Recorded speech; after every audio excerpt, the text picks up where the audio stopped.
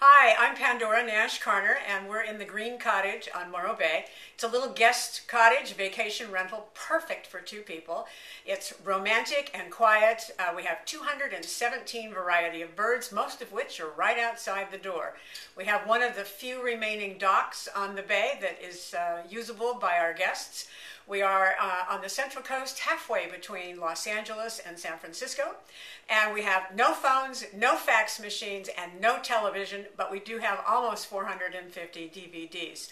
Lots to entertain you with, lots of nature, good hiking trails nearby. We have a couple of state parks, we have some nature preserves, we have a wonderful bay to recreate on, and we hope that you come and visit us soon.